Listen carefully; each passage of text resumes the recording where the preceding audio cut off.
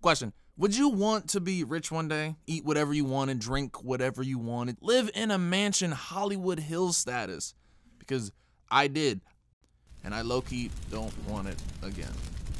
Also, no, I don't need any medication. Okay, I know I sound crazy. Who wouldn't mind being rich except poor people who hate the rich maybe like smart decisions? Honestly, I always felt hating money was an excuse poor people gave for being poor. Like people purposefully out here wiping their ass with single ply because it's humble or something. Nah, it's because Charmin Ultra Soft costs 30 fucking dollars and the monthly toiletries budget is like seven.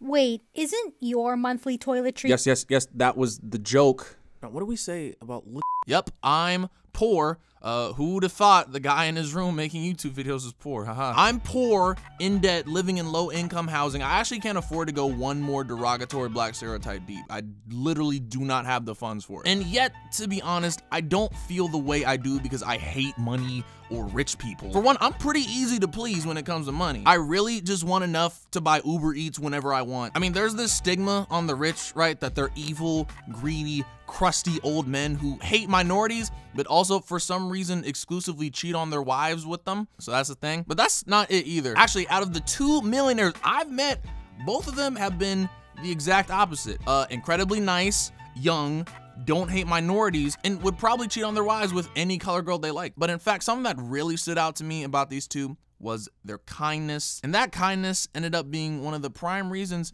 I'm not really about that seven figure life anymore.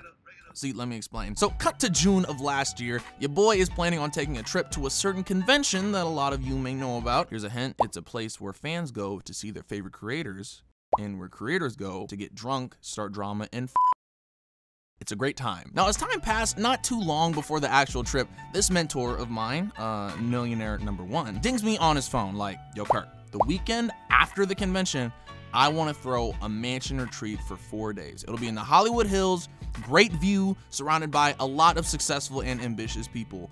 Uh, you want to come? Well, last time I checked, I wasn't fucking insane. So of course I, I want to go. And man, I was hyped. But after that week was done, I left California depressed, unsure, and low-key mad. Let's see how I got there. Ooh, yeah. so we got to this point via three particular observations I made on that trip. First one, first day, the beach recognition. That was really corny. Okay, they all not gonna be clever. Yo, okay. See, a lot of my colleagues, most of whom were way bigger and more important than me, decided that we should meet up on Huntington Beach just as a kind of, well, like meetup. So everyone can hang out without restrictions.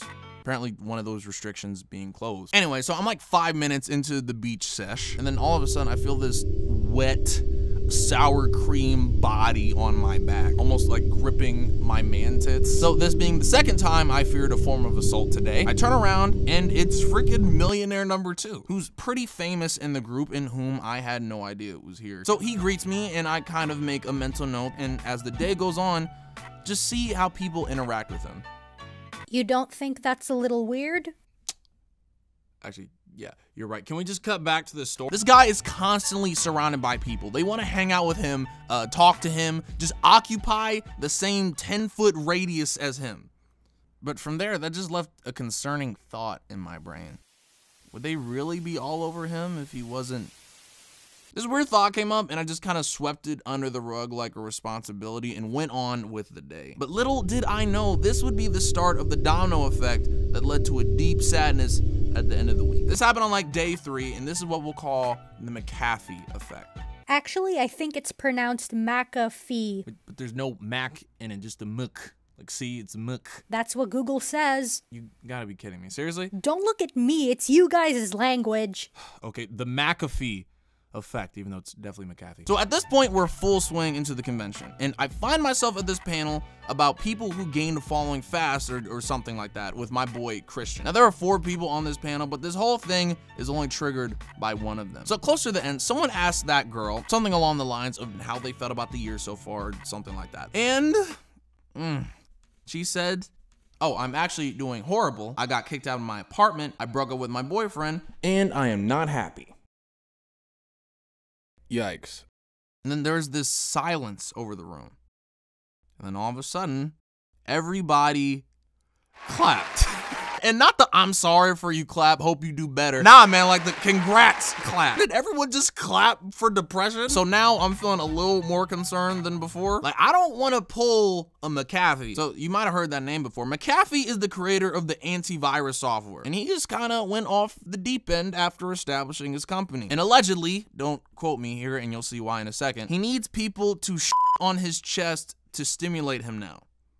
He's also Somalian pirate. Weird stretch, I know, but I promise it has a closer point. Money and success has taken a lot of people to a really bad place. Like, you don't gotta look far. Like, I don't wanna make a million dollars, and then the next thing you know, I'm, I'm naming my child uh, Blanket. But at this point, I was a little more rattled than when the first thing happened. Like, I still wanted this whole thing, but it's just something I took another mental note of, which leads us to the mansion sadness. What a what an interesting one, yes. Okay, so we're at the end of the week and finally it's time. We end up going to the mansion and like I said at the beginning of the video, there's free food, drinks, a soft bed, great people, like the whole nine yards. This is MTV Cribs, but if they let broke people live there, and by broke people, like just me. Now, the way this video's been going, y'all probably expecting me to say something like, I had an awful time or something bad happened. But if we're being honest, it was the best time of my life. I mean, dude, I'm at a mansion in the Hollywood Hills. I never thought I'd ever be here, but that's kind of the point. So after that time, I'm packing up, and you know when you're leaving a vacation and you kind of hit the sadness that it's over? Well, I did uh, hard and thought, man, people who are rich and successful, how would they feel if they were losing all this? I mean, I'm at a mansion, partying it big, feeling like Rick Ross popping bottles when he wasn't like like drugging women. Maybe that was a bad example. I'm feeling like someone who doesn't drug women and is also rich. Like assume this is a constant life for someone who just has it and then they lose it. How would they feel? And I'm a weak dude. If I lost this, I would be hurt. Like I'm hurt now and I had it for four days. What happens when you attach your wealth to your work when you're this high up? So eventually I'm on my plane back home and I'm really just feeling this wave of, yo, fuck this. Like the thing with millionaire number one. If he wasn't famous, would people be swarming him like that? Like I'm broke and ugly. If you like me, you like me. There's no reason to lie. Then there's that girl on the panel. What if I hit success and then it affected me emotionally. Then I thought of the mansion. What if I attach my worth to my work and I end up losing everything? Yeah, I was a RIP. So a couple days later, I get a package in the mail. I go to open it up and it's a freaking laptop. A whole ass new laptop addressed to me. It's weird, right? Well, I didn't mention this, but at the mansion, uh, the millionaire peep that I had a terrible old laptop. Um, maybe some of y'all have seen it before I've posted it, and offered to get me a new one. And I thought he was kidding, but lo and behold, here it was right in front of me. And I remember him saying he did it because he believed in me and he wanted to see me grow and just because he could. And this all kind of brought me back to the middle ground. So what I'm getting at with this whole thing here is that this guy, he's not crazy, he's not corrupt, he's just a good guy. now, I'm sure on the outside he dealt with issues, maybe similar to the ones we expressed earlier, but the, the man is managing, yo. And I think with every phase in life, you gotta adjust and acclimate. And I mean, sure, I don't think I want extravagant wealth and success, but it's not a huge deal. If I could still do little things like that, I'd be pretty chill. We'll, we'll, we'll, we'll keep it at I just want enough to where I can get Uber Eats every day. What's up, y'all? Uh, thank you for watching that video. Uh, it has been a pleasure once again. If you like this video, check out my poorly titled "Manipulating Girls on Purpose?" question mark video.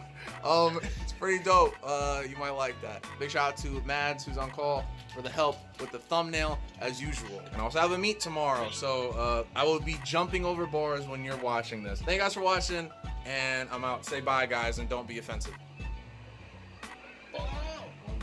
All right, that close enough. Peace. Oh yeah, say bye to All right, that was I got cut.